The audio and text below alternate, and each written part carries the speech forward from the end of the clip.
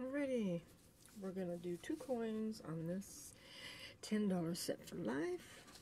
This is part of the reverse loaders, even though number five didn't come out first.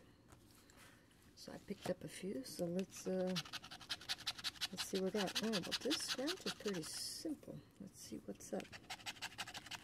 Mm-hmm. So I wonder if it's going to be a winner.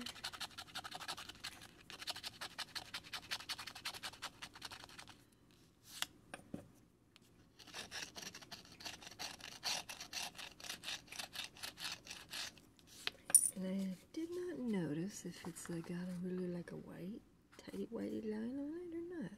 Hmm. But these set for lifers are a 1 and 3 with a 1 and 4.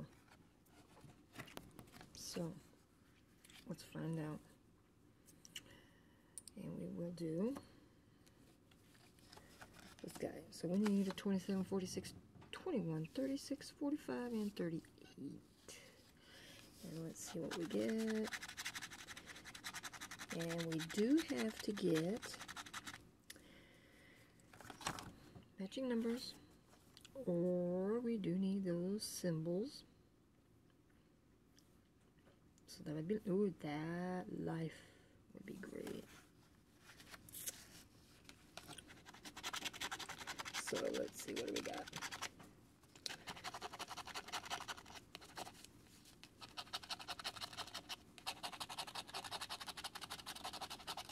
We have two 30s, 36s and 38s.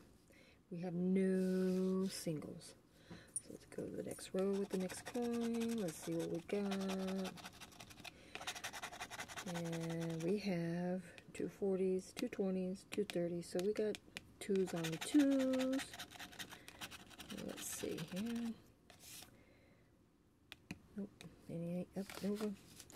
If we don't see anything right away, we do double check everything at the store. Oops, single. Oh, a 42.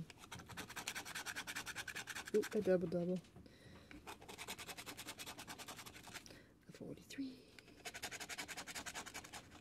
26. So let's see. We have a couple more to go. And we change coin. No teens, come on.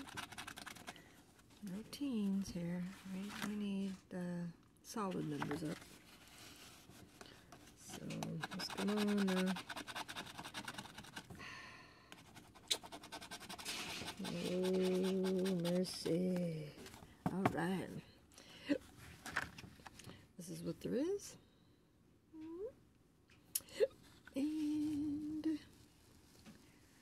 what I don't see anything, but we'll most definitely scratch the code to see if it's the we didn't miss anything. So thank you for watching. This is the reversibles from the machine. So we'll see what's up.